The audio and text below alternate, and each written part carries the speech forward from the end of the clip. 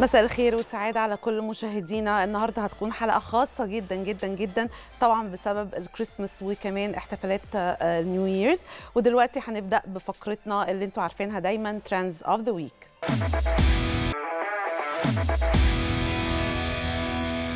ويجز يلفت أنظار العالم. ليدي جاجا بتحتفل بعد 11 سنة. افاتار بيتصدر الترند عالميا. ويلا بينا نعرف كل التفاصيل.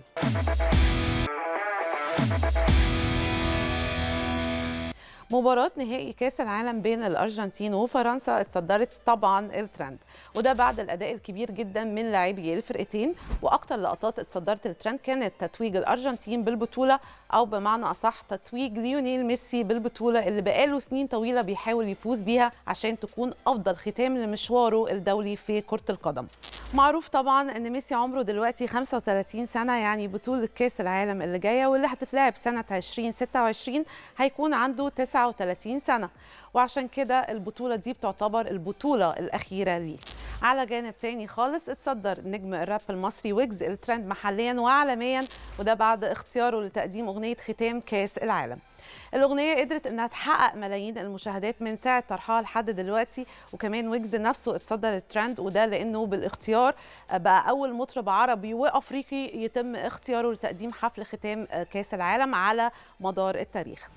وكان من أكتر الصور اللي انتشرت على ال social media صور إعلان الأغنية واللي تم عرضها في Times Square بأمريكا أغنية المطربة العالمية ليدي جاجا Bloody Mary اتصدرت الترند عالميا وهي الرقصة الخاصة بيها واللي اشتهرت من خلال مسلسل Wednesday واللي قامت ببطولته الممثلة الشابة جينا أورتيجا الجميل في القصة إن المسلسل قدر إنه يحقق أكتر من مليار ساعة مشاهدة من عرضه الشهر اللي فات عشان يحقق رقم قياسي عالمي. مش بس كده ده المسلسل كمان اعاد إحياء أغنية ليدي جاجا الشهيرة بعد 11 سنة من صدورها. شفنا كمان النجمة العالمية ليدي جاجا بتحتفل بالنجاح ده بأنها نشرت الأغنية مع الرقصه الخاصة بالمسلسل واللي ادتها الفنانة جينا أورتيجا وبقت ترند عالمي عشان تشارك ملايين المتابعين حول العالم واللي قلدوا الرقصة في videos على ال social media. تخيلوا يا جماعة إنه عدى 13 سنة بحالهم على عرض أول جزء من أجزاء فيلم افاتار واللي قدر وقت صدوره إنه يكسر الدنيا ويتصدر كل الأخبار. وقتها طبعا ما كانش لسه فيه ترند لكن الأيام دي قدر الفيلم إنه يتصدر الترند عالميا وده بعد ما تم عرض الجزء الثاني منه خلال الأسبوع ده. وطبعا قصة الفيلم بتدور برضو حوالين العالم المثالي الخالي من الحقد والشر وكل البشر بيحلموا بيه طبعا ونفسهم إن هم يعيشوا جواه. وبالرغم من إن الفيلم صدر الأسبوع اللي فات إلا إن كل تقييمات الفيلم كانت عالية جدا وحصل على تقييم أكتر من 80% تقييمات إيجابية من اللي اتفرجوا عليه.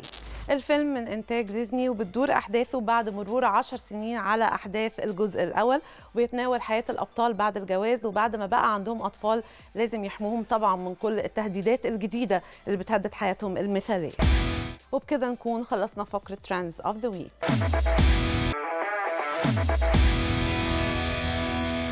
تعالوا نروح نشوف أخبار ال box office الأمريكية ونرجع نكمل بقية فقراتنا.